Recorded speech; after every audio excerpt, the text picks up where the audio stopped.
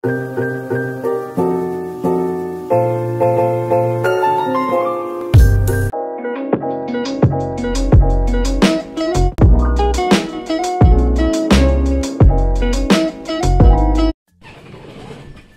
today, papalitan natin sila ng soil. So ito yung mga black. Ang dami na niyang um, ugat sa ilalim. So okay yung soil niya. Siya sa soil. Ito yung mga.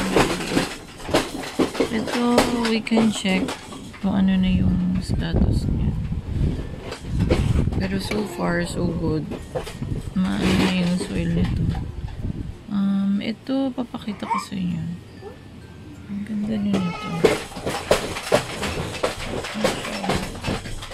Gaano na siya sa soil. Tapos, ito, tsaka si Rondo. Si Rondo, palitan natin to ng soil. So, palitan natin siya. Tsaka to si si si yeah, I'm gonna change their soil. Ito na palitan na to si Blue Rose. You can see. Ganda niya.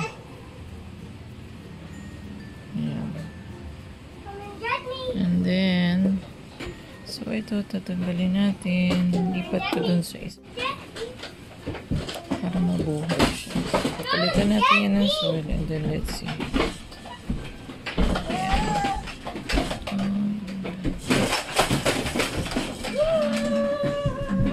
Cabbage, jade plant, and black beans. Ito kung makikita nyo, um, medyo, eh, it's turning yellow. So, kailangan nating palitan yung soil. Okay ito eh. Okay siya. It's, pero I think medyo kailangan ko na siya talaga palitan ng soil. So, hopefully mabuhay ito. Ganda pa naman ni Rondo. Yeah. Si Black Prince, um, planning to change it din. Pero ito na muna. I'll show you. Ayan. Si Rondo.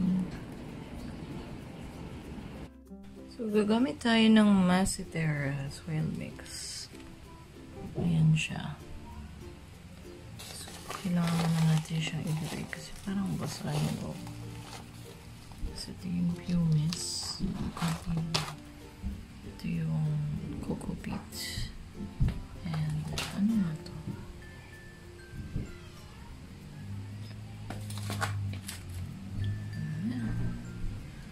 Natin siya dito. Um, vermicast. Ito yung cocoa peat. Tapos may pumice. So, yun na siya. Pero ito yung mix.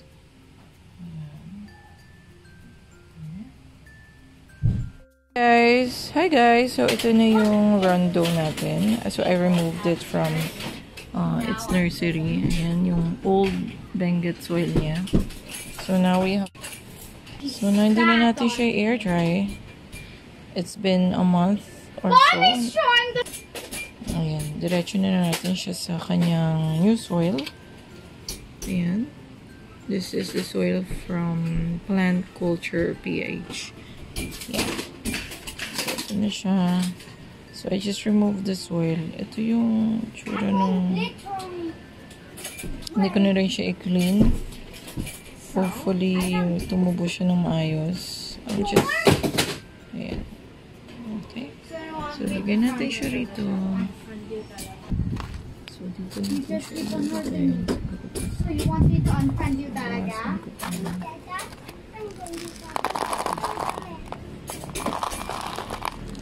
Well, least I'm gonna fold them. Anyone wanna go fold with me? Ah. I fold. Alright. I know. Mo. Why? Show mo yan. I'm just gonna... Yan. While I'm, while I'm putting... Mama, mama. Yes, Fold anak. Thank yung you. Show me. Show, show them that. I'm gonna get clothes. Get them. You're covering it. Yeah, I'm putting soil. You're covering it with your hand. Huh? You're covering it. Ah, I'm sorry. Show it. Show it to the people, okay? But but there's like Yuck, people. You. so there. you- Hurry. Hey guys, so ito yung mga i-repot natin. We're not gonna air dry them. It's been here for a month. So, yan. Ito yung may baby show. Oh. How? Ang ganda niya. Super nice. And then the bukas. And then si Jade. Ano? Ayan. So we're gonna remove them from their soil and then air dry them for f- siguro 24 hours lang and then transfer them.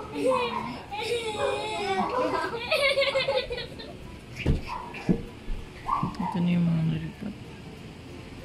Shut up! This hair is beautiful. At least this is his for you. Nice. Open your eyes. This will hurt a little. it's like you'll yeah, have to buy you a new one. A blue one like this one. Yeah, but that's the only size.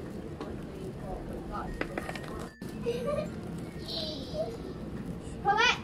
Yeah. Finally! Not wearing that again. Oh so it's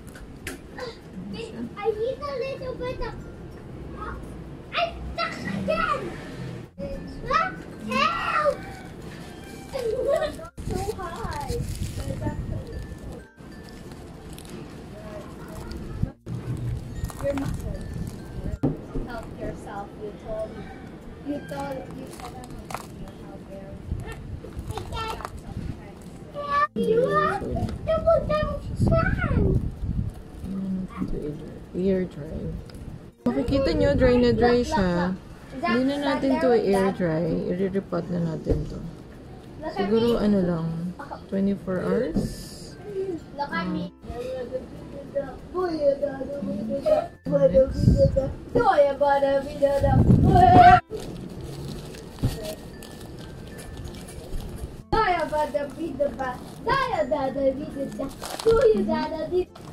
Look at me. Where I need alcohol. Josh, wait, wait. Oh yeah, buddy. Why have I done it yet? Guys, go to the bucket. All about the vida da. Now. I am the vida ba. I am the the vida da. And Siya. I have my Hola,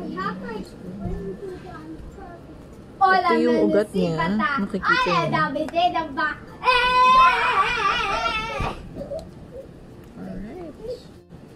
Eh, yung ba, Eh, ba, yung Ano ba? Eh, yung ba, dami na ba? Eh! There's cabbage. Wait, I need to alcohol my Why did you say that? Ay, kumamit yun. Ikaw sexy. Ay, ang badyo-bidyo ba? Ay, ang badyo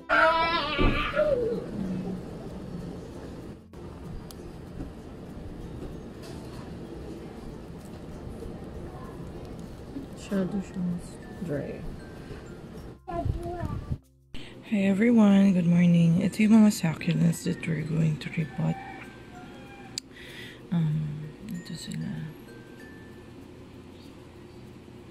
Si Black Prince. Topsy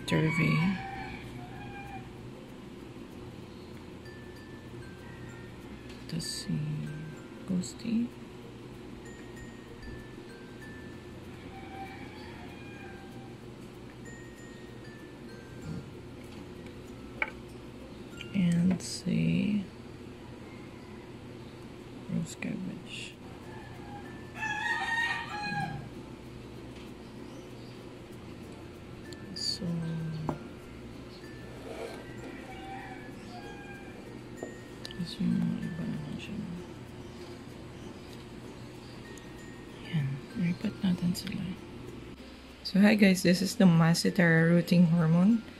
I'm gonna show you what are the active ingredients when it comes so instructions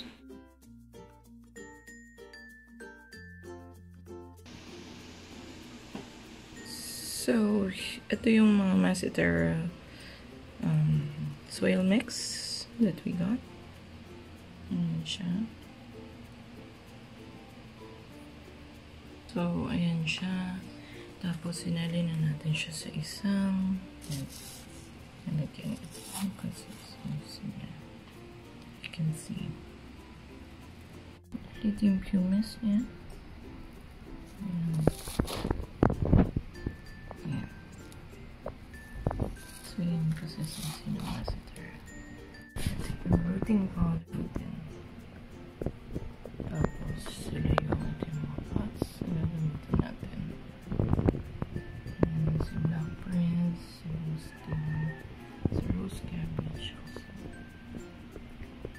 Ipababad natin. Si rooting powder yung isa. Um, then I'm thinking si Black Prince ang ibabad ko. With Macedera. So we're gonna put itong 120 ml. Kasi gamitin ko isa. Gawin natin dito. Saan na natin si Macedera rooting powder?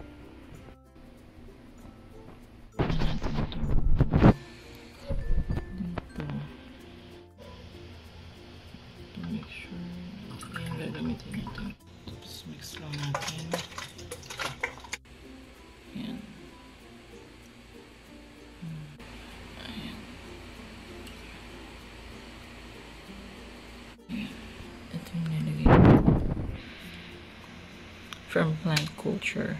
The uh, so DE pesticide insecticide ito from plant culture. Diba? Okay? Pero hindi ko nalilinis yung roots niya. Diretso na siya. Isang lalagyan. Ito siya dyan. Hindi na natin siya lilinisin. Ganyan na siya. Babad natin siya for 15 minutes.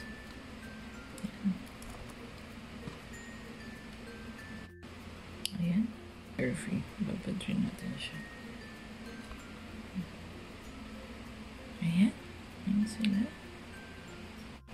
So, iwan lang natin sila dyan for 15 minutes. Babalikan natin sila. And then, dry na natin. Gagamitan natin siya na DE powder.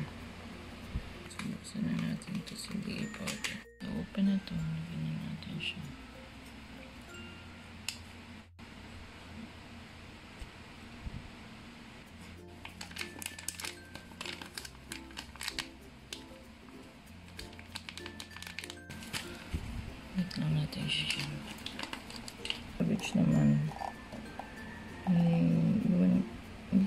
Siya papalitan. Ganyan lang siya. Pero, mas maganda lagyan na rin natin siya ng baby powder. So, ito si rose cabbage. I-rooting powder lang din natin siya. Para sure. Yung si rose cabbage. Lagyan natin siya powder.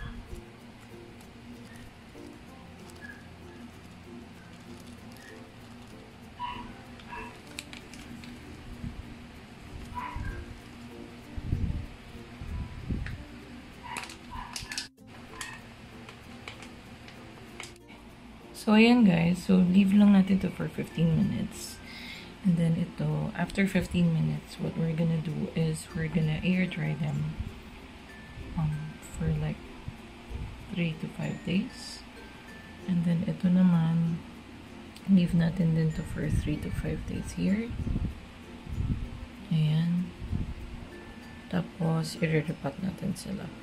Okay? So, ito si Ghosty, si Rose Cabbage. Meron silang DE powder. Binabad natin siya. And then, ito naman binabad natin sa Masitera Rooting Powder. Ayan. And then, let's do that experiment. I'm gonna show you after niya na ma-repot or pag i-repot na natin siya. And then, we're going to monitor them um, ng mga isang buwan kung ano nang magiging issue nila. So, ito yung experiment na gagawin natin to make sure na ano ba tam ang tamang application, uh, ano ba tamang um, gagawin sa kanila para mabuhay sila. So, ito based on this exercise. So, I'll show you at update ko na lang kayo. Okay? So, ang gagamitin natin sa kanilang soil mix is Macetera. Diyan natin sila ilalagay sa mga pots na yun. Okay? Alright. Be right back. Hi guys. So, ito na siya. Um, after 15 minutes na nababad siya sa rooting oil or rooting mix, yan na siya. So, nilinis lang natin siya. We didn't cut anything. Tapos, punasan ko na lang siya ng tissue. Ito naman yung isa, yung nababati natin. So, dinry ko na lang siya. And then, after nyo mag-dry, lagyan natin siya ng DE powder. Ayan. Yung dalawa sila. So, lagyan natin yan. Lagyan natin ng DE powder. So, we will air dry them for 3 days. Lagyan natin siya ng DE powder. Ito na nababad sa rooting oil. Lagyan ko na siya. Lagyan na lang natin siya dyan. Nakita mo ang ganda ng niya. Healthy, healthy siya.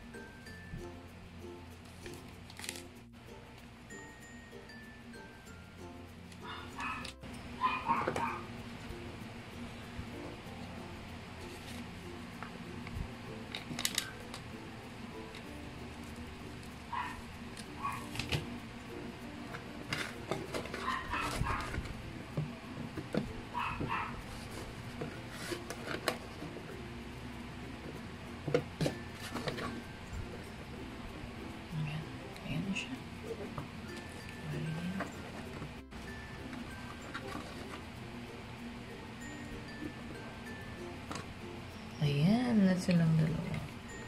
So, ito yung nababad natin sa uh, Massetera rooting oil or rooting mix for 15 minutes.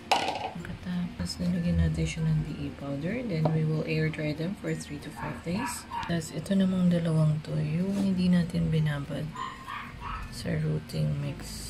Ito lang yung as is lang din, which is what DE powder. So,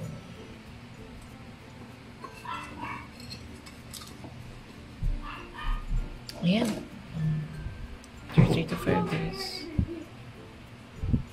Ano yun natin siya? Balikan natin siya. Then, we'll show you. Okay.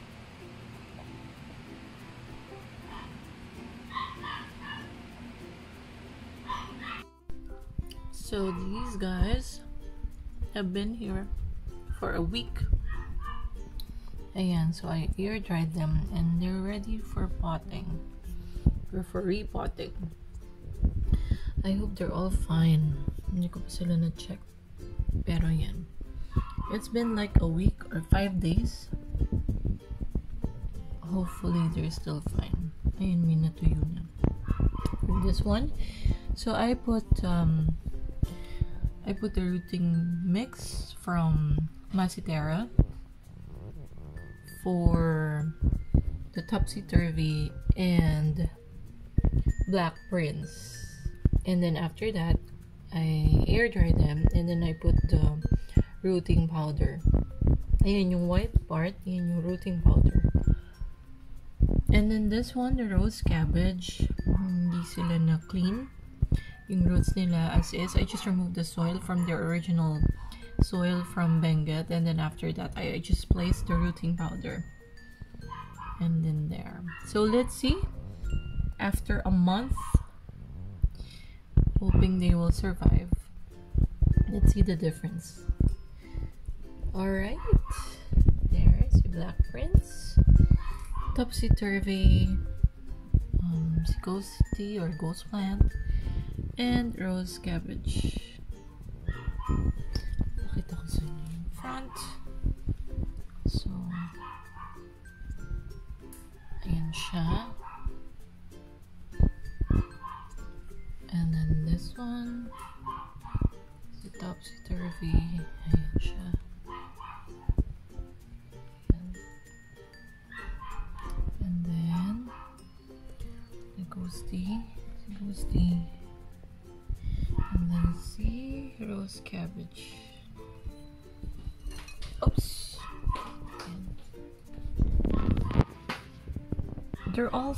They're all looking healthy. So ready yan for repotting. Already? Okay, be right back guys. Hi, good morning everyone. So today we will do the repotting. So, i-repot na natin sila. They've been, um, they've been, naka-air dry na sila for, like, uh, more than a year, uh, more. so, um, naka-air dry na itong mga to for more than a week now. Um, ito yung mga, um, succulent, si Black Prince and si Topsy Turvy na in-air dry natin. Um, actually, this, this, these two, um, binabad natin sila sa rooting mix, rooting um, mix ng Macitera for 15 to 20 minutes. Kinlean natin yung roots nila pala, by the way. And then, um, binabad natin sila sa rooting mix. And then, and then we put itong rooting powder. Ayun, tapos in-air dry natin siya for one week. And then the other two, ito si rose cabbage and then si um, ghost plant or ghosty, um, hindi natin kinlean yung roots nila. So from nursery bag, we just remove the, um, you know, the, the soil. And then after natin remove yung soil, um, nilagyan lang natin sila ng rooting powder, which you can see. Yan yung mga white. So now, we will uh, repot them now. So, ang gagamitin natin is itong Macitera um, soil mix. And then, lagyan natin ng vermicast. Okay? So, dito na rin natin sila. Ito yung mga pots na gagamitin natin. For the ghosty, since mataas siya, so ito yung gagamitin natin. Okay? So, yung gagamitin nating soil is the Macitera soil mix. Um, ito yung natuyo na to. Uh, pina air dry rin natin to. And then the, a little bit of vermicast. So, I'll show you. Ito yung sa ghosty, nilalagyan ko siya ng diaper para hindi, may butas kasi siya. So, para ma-absorb niya yung water. So, come on. I'll show you na. So, ito muna. Lagyan natin ng um, ito yung Macitera soil mix. So, mix-mix muna natin siya. Nakikita nyo? Um, ito yung tuyo na yun. Dapat kasi ito yung soil mix para hindi mag-rot yung um, yung succulents. As you can see, ayan na siya. So, ito yung tuyo na yan. Pwede na natin lagay sa sa pot.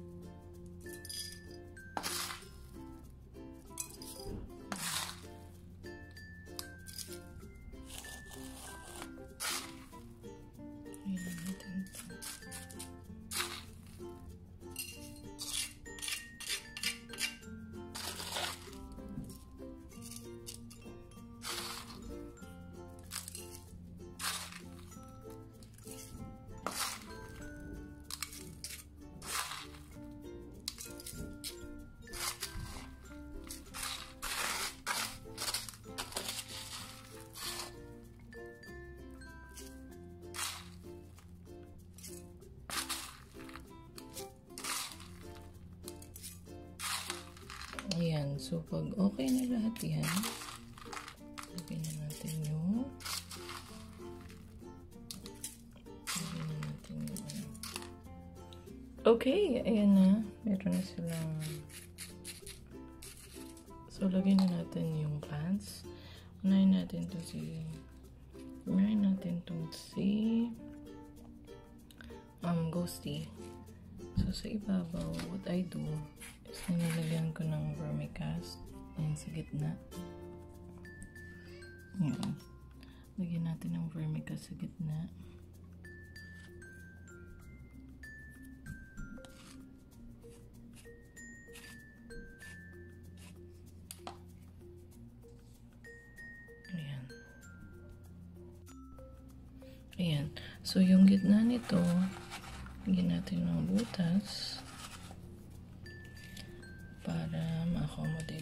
To si Ghosty.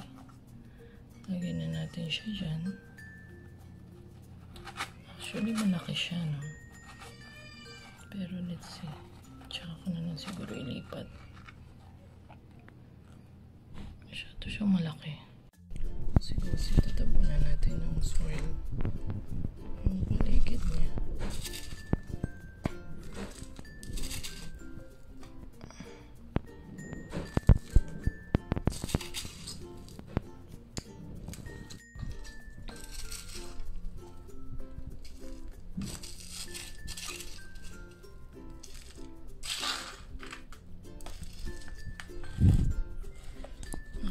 Siya for now. So you can see. Ayan si Ghosty. Tapos lagyan na lang ng si topsy-turvy rin. Lagyan natin siya dito.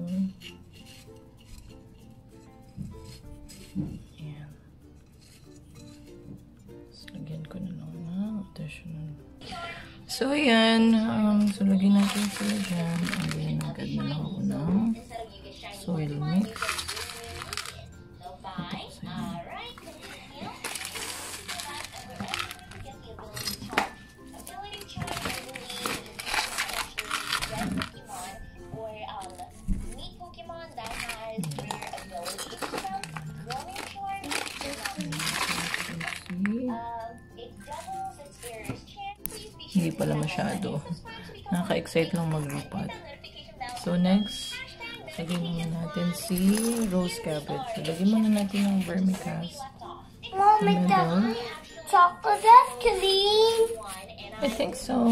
You wait, you wait for mom. And then this one.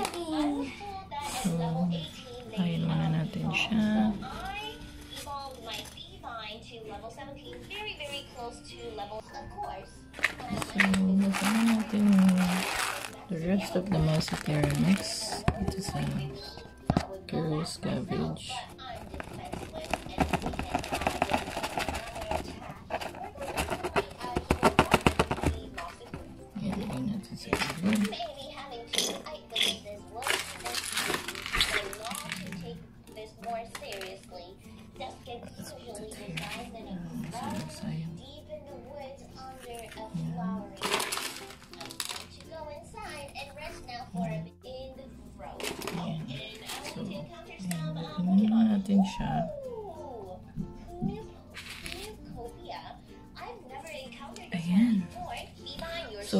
sila. So, ito na sila guys. Um, they're complete na. Lagyan na lang natin sila ng design sa gilid. Lagyan na natin sila additional pumice.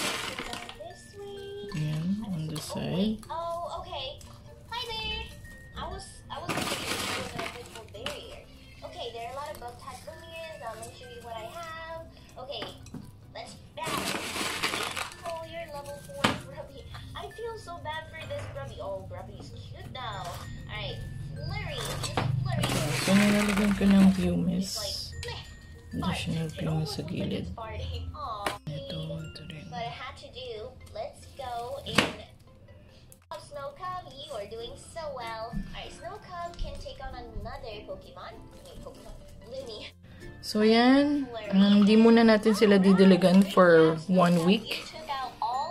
And hindi rin natin sila paparawan. Kasi kakaripat lang. So, there you have it, guys. Ito na yung bago nating plants na um, naripat. I'll get back with you after a month kung ano nang mangyari sa kanila. Okay? So, I'll just keep on updating you guys. Alright, thank you so much for watching my video. Please don't forget to subscribe and like. And for more videos, please follow us. Okay? Thank you. Bye.